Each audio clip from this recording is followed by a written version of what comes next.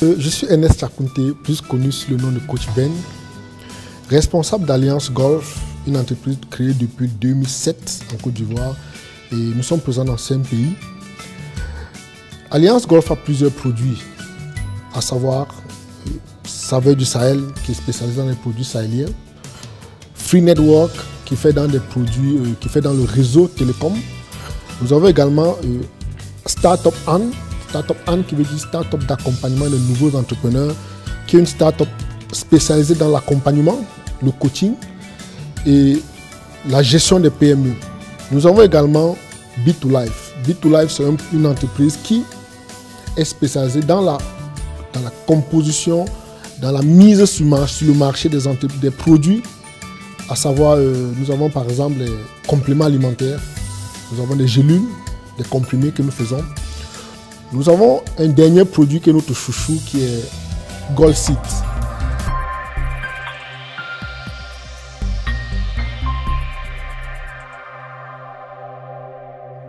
Quand on parler de ça, et puisque moi, moi euh, j'ai jamais compris comment on peut parler de ça.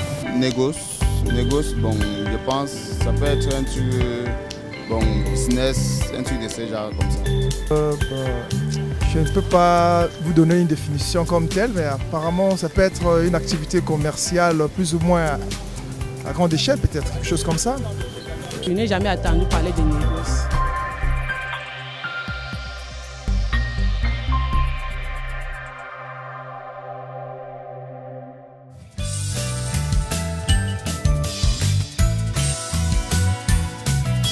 C'est quoi le négoce Et quand vous demandez quelle est la définition du négoce, je vous dirais de façon simple et de façon littérale.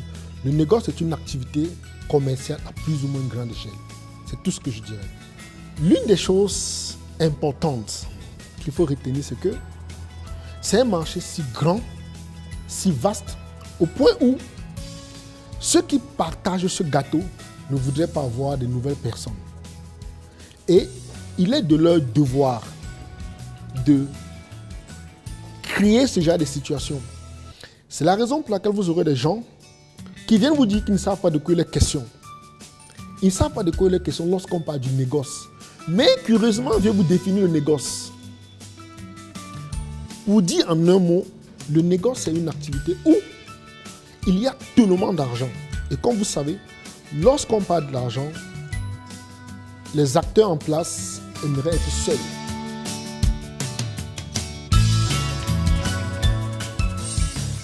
Je vais vous expliquer. Revenons en 2017, 2007, je veux dire, en Côte d'Ivoire. Il y a une entreprise du nom de Trafigura qui déverse des produits chimiques en Côte d'Ivoire. Et chaque fois qu'on parlait de Trafigura, on parlait de Trafigura comme une entreprise de négoce. À force de répéter que les entreprises de négoce font des mauvaises choses, la sagesse populaire et les gens ne font pas assez de recherche pensent que les négociants des entreprises qui ne font que de mauvaises choses.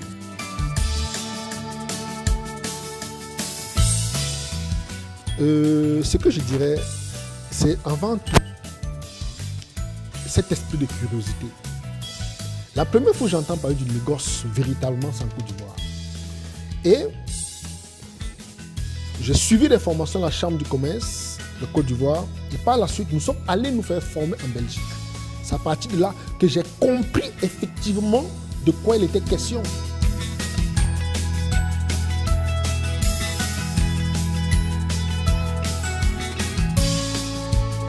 Nous sommes dans une forme de suivisme. On aime les noms, des gros noms. On veut des titres pompeux. On va venir dire, on fait dans le négoce. Mais en réalité, est-ce que ces entreprises font dans le négoce? Je ne pense pas. Certaines personnes sont venues vers moi disant, Coach Ben, j'ai créé mon entreprise, j'ai mis l'activité du négoce sans savoir de quoi était question. Donc certains mettent simplement par fantaisie. Et malheureusement, je pense que c'est ça qui fait que on se retrouve avec des gens qui ne s'y connaissent même pas du tout. On peut avoir quelques minorités. Je ne veux pas dire non qu'à 100%, mais il doit y avoir quelques entreprises qui peuvent vous faire un peu de négoce. Je n'ai pas pour intention de décrédibiliser ces entreprises. Non, ce sont des entrepreneurs comme moi. Je, ne suis pas là pour les décrédibiliser. Je veux simplement faire que les uns et les autres comprennent que Ils sont parfois sur la bonne voie, mais ne savent même pas où partir.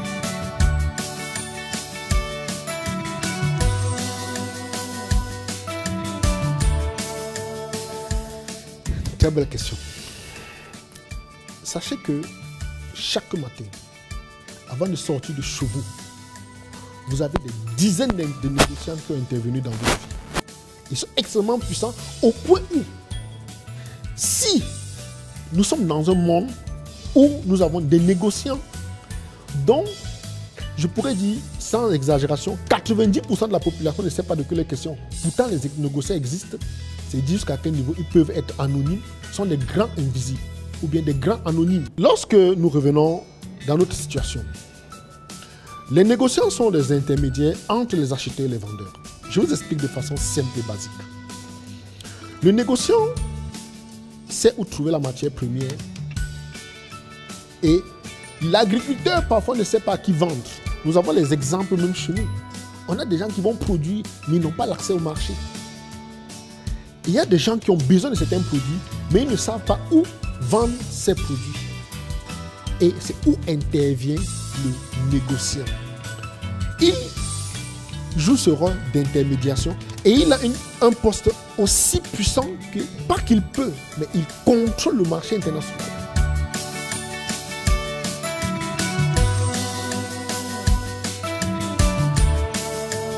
J'ai dit tout à l'heure, le négoce ou le négociant contrôle le monde. Au Cameroun, on fait le négoce. C'est une activité qui concerne le monde, tout le monde en fait. J'ai dit tout à l'heure, le riz que vous consommez, le sucre que vous consommez, l'huile que vous consommez, le savon même, puisque nous importons le savon, les intervenants, les acteurs principaux sont les négociants. Donc, comme vous dites que le Cameroun également est concerné par le, négoce. Et je dirais même que nous sommes deux fois plus concernés. Parce qu'en Afrique de l'Ouest, je prends l'exemple de la Côte d'Ivoire, en Afrique de l'Ouest, ils ont au moins cette libre circulation des biens des personnes. Mais chez nous, tous nos produits sont pratiquement importés. Tel que je vous le disais, nous avons tellement d'exemples.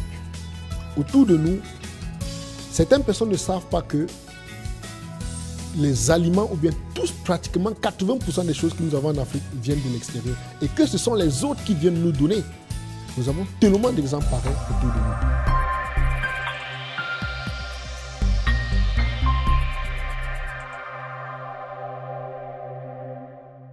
Grégoire Lermite, euh, 38 ans, promotion 95 à l'ESCE. Alors sur quel type de marché? Sur les marchés des matières premières qui sont euh, cotées en bourse et euh, avec une particularité sur euh, les denrées alimentaires telles que euh, le sucre, le riz, voilà. J'interviens sur différents marchés, mais les marchés mondiaux avant tout, puisque c'est en fonction de l'offre et de la demande.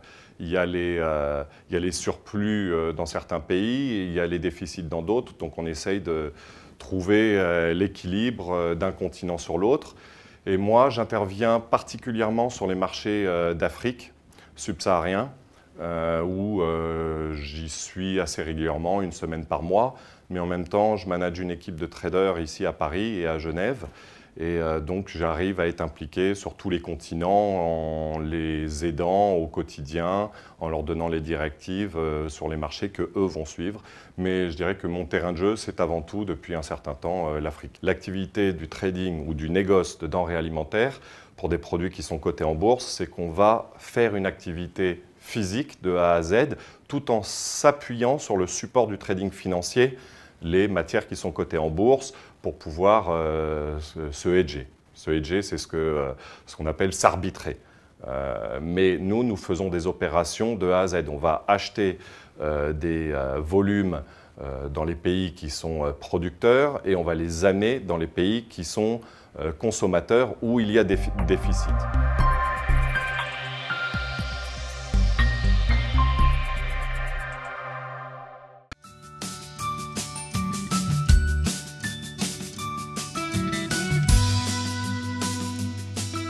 Excellente question.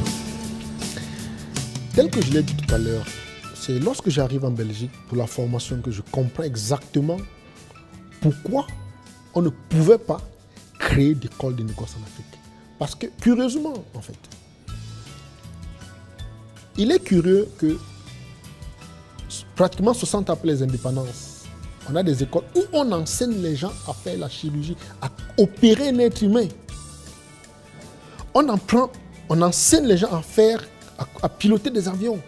Mais aucune école pour former les négociants. Je me suis posé la question, mais pourquoi on n'a pas d'école de négoce en Afrique? Tout simplement parce que ces gens contrôlent pratiquement le monde. Il faut savoir que les entreprises de négoce sont si puissantes que elles sont plus puissantes que certains établissements financiers mondiaux. Mais les gens ne le savent pas. Si nous sommes le continent de l'avenir, tous les pays veulent s'installer en Afrique.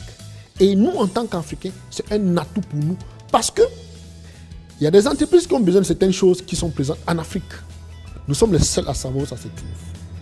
Il y a des entreprises qui, en Afrique, veulent des choses en Occident. On a des frères qui vivent en Occident.